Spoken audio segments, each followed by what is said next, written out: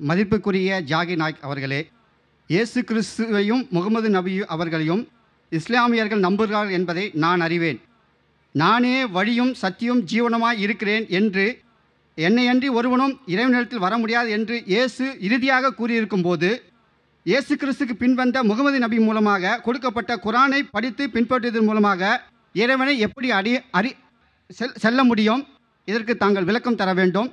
ஏனென்றால் இயேசு கிறிஸ்துவே இறுதி என்று சொல்லப்பட்டிருக்கும் போது முகமது நபி எப்படி இறுதி இறுதியாக ஆக முடியும் என்று கடவுள் சொல்லியிருக்க முடியும் அதற்கு தாங்கள் விளக்கம் தர வேண்டும் மிக்க நன்றி Translate in uh, English, please.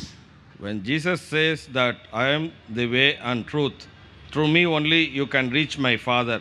Like that, how can you reach Allah or God by following Quran, which was revealed to Prophet Muhammad, who is not giving any promise? The brother, I assume, is a Christian. He posed the question that Jesus Christ, peace be upon him, said, I am the way, the truth, and the life. No man cometh unto my Father but through me.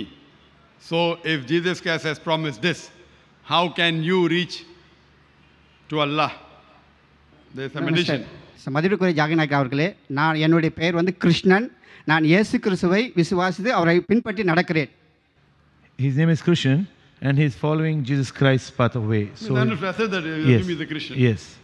Krishnan இப்போ நீங்க கிருஷ்ணன் நீங்க ஹிந்துவா இப்போ இல்லை இல்லை நான் இயேசு கிறிஸ்துவை ஏற்றுக்கொண்டு அவரை ஃபாலோ பண்ணுறேன் Okay, he, he took in the religion of Christianity Yes, I and was understand following that. By that. his Yes. question, I But understood. his name is Christian. Yes. That's what I assumed from his question that I said that I assumed that the questioner is a Christian. Yeah. And he said that Jesus Christ, peace be upon him, said that I am the way, the truth, and the life. The translation of that brother wasn't perfect. I'm trying the translation. I am the way, the truth, and the life. No man cometh to my Father but through me. So how do you come to God through Quran and Muhammad Sallallahu Alaihi hasn't promised you anything?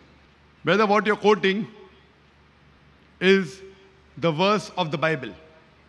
You haven't given the reference, I'll give reference. What you're quoting is Gospel of John, chapter number 14, verse number 6. You haven't given the reference, I'm giving you reference. Gospel of John, chapter 14, verse number 6. I am the way, the truth, and the life. No man cometh unto my Father but through me. And many people assume that when they say this verse, Jesus Christ, peace be upon him, is claiming divinity. And many Christian missionaries, they quote this very often. You know, Jesus Christ said, Peace be upon him, I am the way, the truth, and the life. No man coming unto the Father but through me.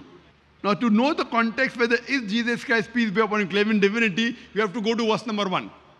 When you read verse number one in the Gospel of John, chapter 14, verse number one, it says that Jesus Christ, peace be upon him, says that why are you worried? If you believe in God, believe in me also. In my Father's house, there are many mansions and I'm going there to prepare a place for you. If it was not so, I would have told you, I'm going there to prepare a place for you. And then he says, You know where I go. So one of the apostles says, No, we don't know the way. Then Jesus Christ, peace be upon him, says, I am the way, the truth, and the life. No man cometh unto my Father but through me. Now, this statement means that if you want to understand Almighty God, you have to understand through the teachings of the messenger. So we do agree in this statement what Jesus Christ, peace be upon him, said is 100% perfect. What he meant was, if you want to reach God at his time, you had to go through his teachings. At the time of Moses, Moses was the way, the truth, and the life. No man reached God but through the way Moses taught. At the time of Jesus Christ, we agree, he was the way, the truth, and the life. No man came unto the Father but through him.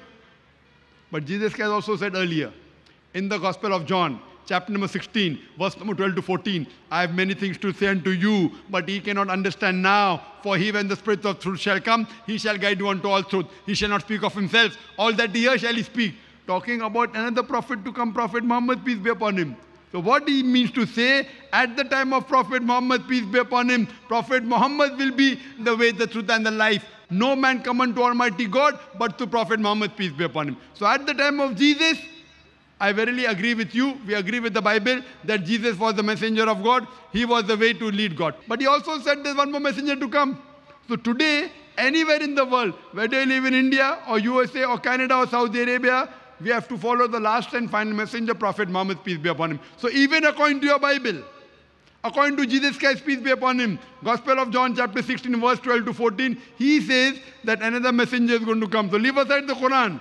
Your Bible is telling that. I have many things to say unto you, Jesus Christ, peace be upon him, saying, I have many things to say unto you, but ye cannot bear them now. For he, when the Spirit of truth shall come, he shall guide you unto all truth. He shall not speak of himself, all that he shall speak, he shall glorify me. So leave aside Quran, even your Bible is saying that another messenger is going to come. He's Prophet Muhammad and he will guide you to all truth. So Prophet Muhammad, peace be upon him, is today the way and the life. No man cometh unto Almighty God Allah subhanahu wa ta'ala but through the way of Muhammad sallallahu alaihi wasallam. That's the reason when we say Shahada, we say Ashhadu Allah ilaha illallah, I bear witness that there is no God but Allah, and Prophet Muhammad is the messenger and servant of Allah. Why? Because he is the way. And this revelation, the glorious Quran, is the last and final revelation of Almighty God. If you want to go to Almighty God, you have to follow his last and final revelation and the sayings of the last and final messenger Muhammad sallallahu alaihi wasallam, which is given the Sahih Hadith. So if you follow Quran and the Sahih Hadith, inshallah, you will get salvation. Hope that answers the question.